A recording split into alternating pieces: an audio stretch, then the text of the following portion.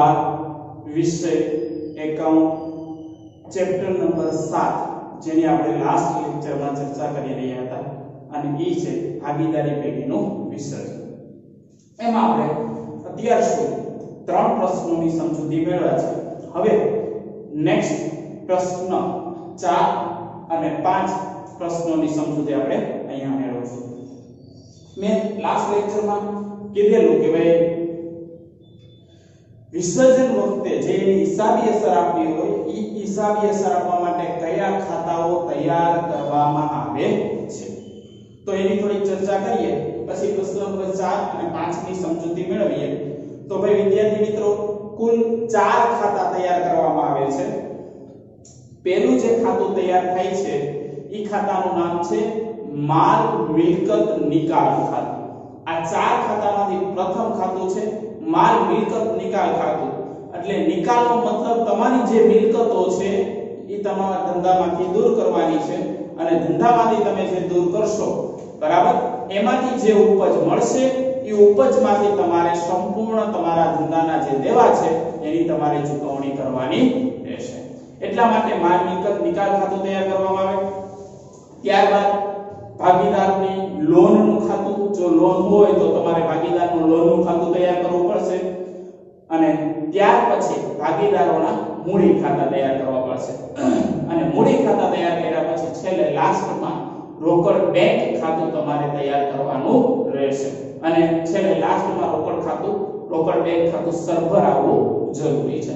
એમાં લાસ્ટમાં કા રોકડ વધશે તો ભાગીદારો લઈ જશે, કા રોકડ ઘટશે ચૂકવવા માટે, દેવા ચૂકવવા માટે તો રોકડ એને લાવવી પડશે બરાબર? તો કુલ આ રીતે ચાર ખાતા તૈયાર થાય છે.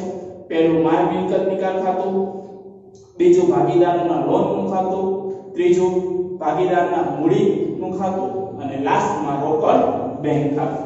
તો એમાં એક નાનકડો પ્રશ્ન છુપાયેલો છે. એ છે, ટૂંકનો ધલકો માલ મિલકત નિકાલ ખાતું. જેની આપણે આજે સમજૂતી મેળવવાના છીએ. બરાબર? શબ્દનો અર્થ ઉપરથી જ આપણે કહી શકીએ કે ભાઈ આ શું કહેવા માંગે છે? નિકાલનો મતલબ છે આપણે દૂર કરવાનું છે. શું દૂર કરવાનું છે? તો એને કીધું છે માલ અને મિલકત. એટલે મિલકત અને જે દેવા છે ધંધાની અંદર, એ તમારે ધંધામાંથી દૂર કરવાના છે. બરાબર? એટલા માટે આનો સૌપ્રથમ એમ પ્રશ્ન નીકળે કે માલ, મિલકત, નિકાલ ખાતું એટલે શું?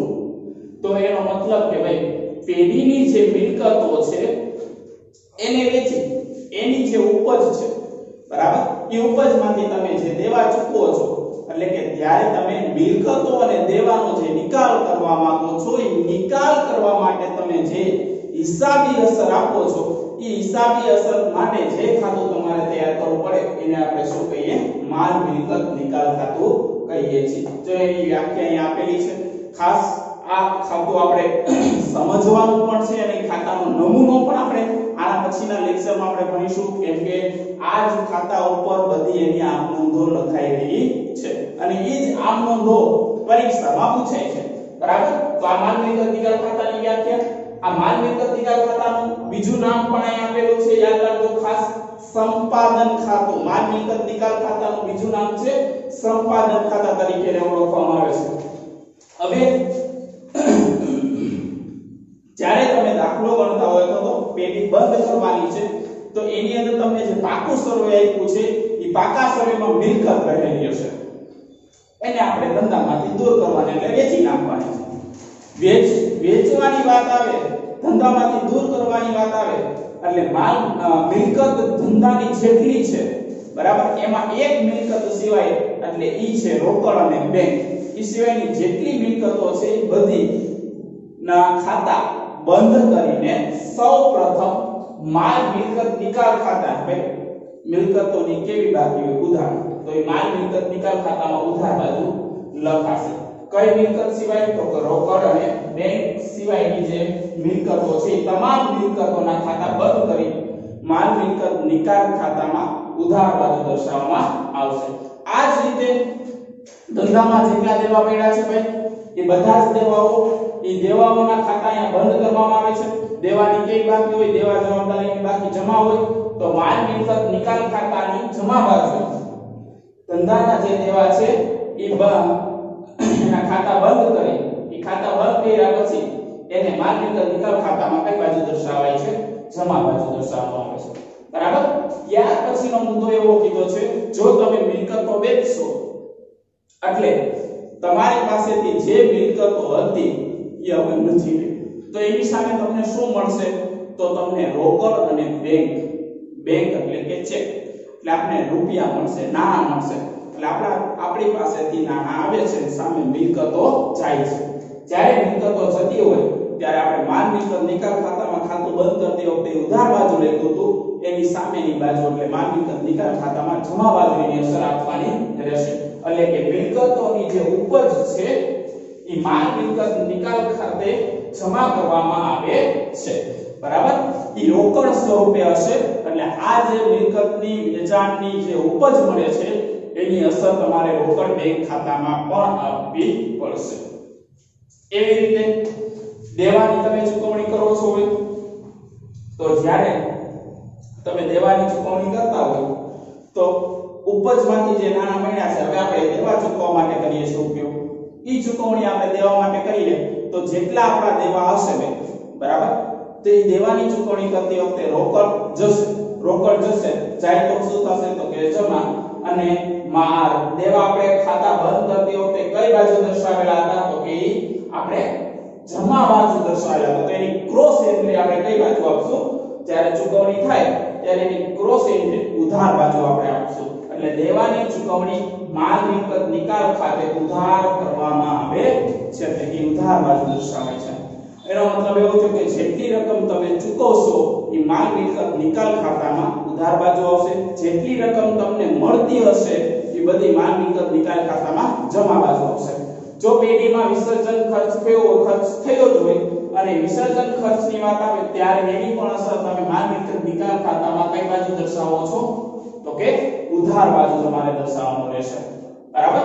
અને લાસ્ટમાં જ્યારે તમે માલ મિલકત નિકાલ ખાતું બંધ કરો છો, એવા સંજોગો વખતે જ્યારે તમારું માલ મિલકત નિકાલ ખાતું બંધ થાય, ત્યારે એમાં નફો કે ખોટ સ્વરૂપે પરિણામ મળે છે. તફાવતની રકમ મળે નિવૃત્ત અને નફો કે ખોટની જે રકમ છે, એ તમારે ભાગીદારોના ભાગીદારોના મૂડી ખાતે અને એના નફા પ્રમાણમાં લઈ જવાનો છે. બરાબર? તો ભાગીદારોના જે મૂડી ખાતું આપણે તૈયાર કરીએ, તો એમાં માલ મિલકત નિકાલ ખાતાનો નફો હોય, તો આપણે જમા બાજુ લખશું. અને ખોટ હોય, તો ભાગીદારના મૂડી ખાતામાં આપણે કઈ બાજુ લખશું? ઉધાર બાજુ લખશું. આ રીતે એની વિગત તમે દર્શાવી શકશો. અને એ પણ કયા પ્રમાણમાં? તો એના નફા નુકસાનના પ્રમાણમાં. તો વિદ્યાર્થી મિત્રો, અહીંયા માલ મિલકત નિકાલ ખાતું ની જે ટૂંકનોંધ છે. બરાબર? એ પૂર્ણ થઈ છે. પરીક્ષામાં યાદ રાખજો. આ તમારે ખાલી બાકી કરવી તો કરી શકો. અને ન કરો તો હું આના પછીનો જે લેક્ચર કરીશ, એમાં માનવીય નિકાલ ખાતાનો નમૂનો હશે. બસ એ સમજૂતી પ્રમાણે પણ તમે વિગત લખો અને આપોઆપ તમને બધી માહિતી એમાં મળી જશે. એ પ્રમાણે પણ તમને માર્કમાં મળી શકે છે. હવે માલ મિલકત નિકાલ ખાતું કરવું હોય ને તૈયાર, તો એની બે રીત છે. બે રીત છે એમાં તમને પ્રથમ રીત અને ના નામે ઓળખે છે બરાબર પ્રથમ રીત અને બીજી રીતના નામે હવે એનો આપણે તફાવત જોવાનો છે ભાઈ પ્રથમ રીત અને બીજી રીત કઈ છે હા યાદ રાખી લો કે ભાઈ આમાં જે તમને આમનોંધ પૂછાય છે બધી પ્રથમ રીતની જ છે બીજી રીતની આપણે આમનોંધ આપેલી નથી બરાબર એ ક્લિયર તમને કરી દો ઓકે જોઈએ હવે જો તમે તફાવત તમે આપતા હો, લખતા હોય તો એમાં પ્રથમ રીત અને બીજી રીતની ચર્ચા આવે તો એમાં પહેલા સૌપ્રથમ જો એકી સાથે ધંધો વેચી નાખવામાં સમગ્ર. ધંધાની જેટલી મિલકત છે જેટલા દેવા છે. એકી સાથે ચૂકવી દેવાની છે એટલે તાળું મારવાની સ્થિતિ આવતી હોય. એટલે બીજાને દેવામાં આવતો હોય એટલે વિસર્જન કરવામાં આવતું હોય. એટલે એકી સાથે સમગ્ર ધંધો વેચાય. ત્યાં તમે પ્રથમ પદ્ધતિનો શું કરી શકો છો? ઉપયોગ કરી શકો છો. બરાબર? આ જ રીતે, જો તમે બીજી પદ્ધતિ એટલે કે ભાઈ, તમારો જે ધંધો છે, એ સમગ્ર ધંધાને તમે ટુકડે ટુકડે વેચો છો. બરાબર? એક આઈને નથી વેચી દેતા. ધંધો એક સાથે તમે વેચતા નથી. જ્યારે તમે ધંધા, ધંધાને થોડી થોડી મિલકત સ્વરૂપે વેચતા હોય, ત્યારે તમારે બીજી પદ્ધતિનો ઉપયોગ કરવાનો છે. એટલે કે એક સાથે સમગ્ર ધંધો ન વેચાય, ત્યાં આ પદ્ધતિનો ઉપયોગ કરવામાં આવે છે. બરાબર? ત્યાર પછીનો જે બીજો બીજો મુદ્દો છે, તો બીજા મુદ્દામાં આપણે કીધું છે કે ભાઈ અહીંયા જ્યારે પ્રથમ પદ્ધતિ હોય, તો આ પદ્ધતિની અંદર આપણે ચોપડા બંધ કરીએ છીએ. અને ચોપડા બંધ કરતી વખતે મિલકતોના ખાતા આપણે બંધ કરીને કઈ બાજુ આવીએ છીએ? માલ મિલકત નિકાલ ખાતે કઈ સાઈડ તો કે ઉધાર સાઈડ બરાબર? એ પણ લખી શકાય.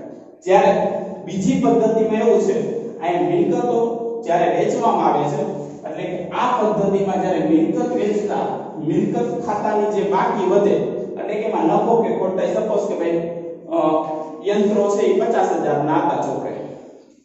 એ પંચાવન હજારમાં વેચી દેવામાં આવે. તો પાંચ હજાર નો નફો થયો. તો એ પાંચ હજાર નો નફો તમારે માલ મિલકત નિકાલ ખાતે દર્શાવવામાં આવશે. અને ખોટ થાય તો પણ ત્યાં એ દર્શાવવામાં આવશે. બરાબર? તો આ રીતે માલ મિલકત નિકાલ ખાતે મિલકતો દર્શાવાય છે. તેવી જ રીતે દેવાની વિગત પણ આ જ રીતે છે. જો પ્રથમ પદ્ધતિ હોય તો દેવાના ખાતામાં ખાતા બંધ કરી માલ મિલકત નિકાલ ખાતે નોંધવામાં આવે છે. બરાબર? અહીંયા જેટલા દેવા છે બધા દેવાના ખાતા બંધ કરી દેવામાં આવે છે અને લઈ જવામાં ક્યાં આવે છે? તો કે માલ મિલકત નિકાલ ખાતે. અને ત્યાર પછી જો બીજી પદ્ધતિ હોય તો આ પદ્ધતિની અંદર જ્યારે દેવાની ચૂકવણી કરવામાં આવે છે, બરાબર? તો દેવાની ચૂકવણી કર્યા બાદ એમાંથી તમને છેવટની જે બાકી વધે એમાં નફો ને ખોટ હોય, તો એવા સંજોગો વખતે માલ મિલકત નિકાર ખાતેની નોંધ થાય છે. બરાબર? દેવાની ચૂકવણી સપોઝ કે લેણદારો છે 20000 ના હવે એમાંથી તમારે 17000 ના ચૂકવવાના છે. 3000 ના નથી ચૂકવવાનો 3000 તો તમને ફાયદો થયો. તો એ ફાયદાની જ તમારે 3000 ની માલ મિલકત નિકાર ખાતે અસર આપવામાં આવે છે.